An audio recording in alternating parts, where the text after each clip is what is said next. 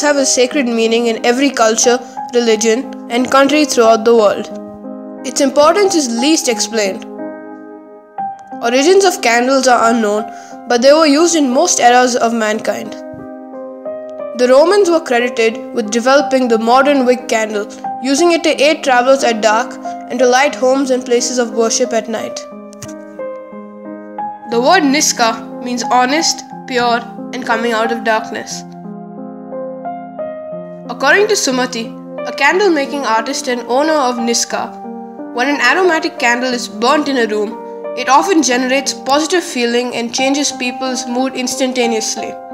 Hence, she named her business Niska. Having observed many art pieces come to life while working with her mother on various art projects, Sumati developed a passion for various art forms very early in her life, and candle making is one such passion that turned into a profession.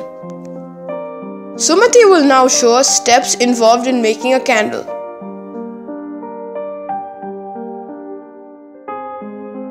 Materials needed for candle making. The most basic ones are paraffin wax, metal molds, silicone molds, liquid colors, cotton wick, candle perfumes, and a heat gun.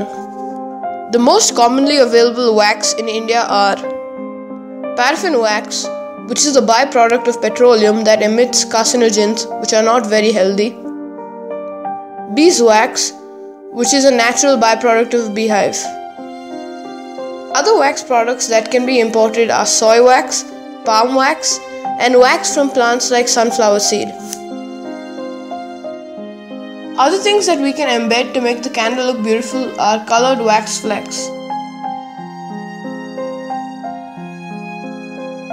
Wax sheets, that are thin sheets of wax papers, are used for stamping techniques or making photo candles. They are not easily available in India.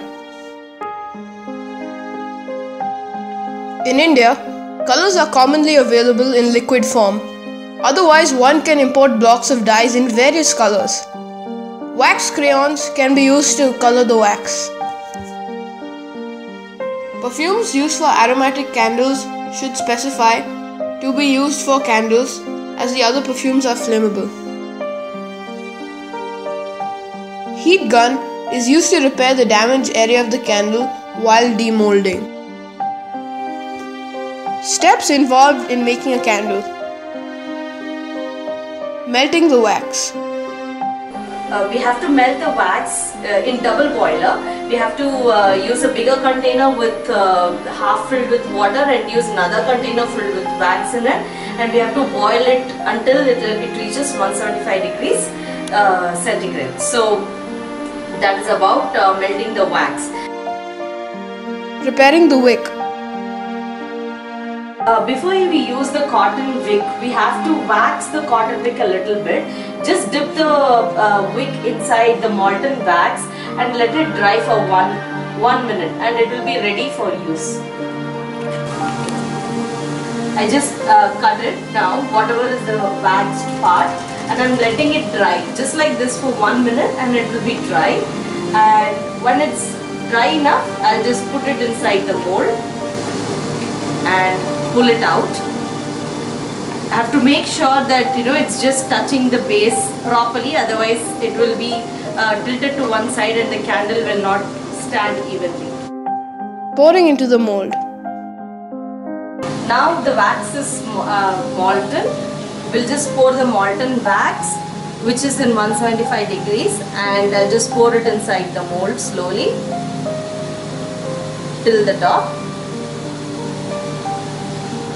And now we want to make sure that the wick stays in the center. So we have to hold the uh, we have to make sure that the wick uh, is in the center. So I'll be using a cloth clip and uh, position the wick in the center and clip it. Now whatever is the excess wick I'm just going to cut it.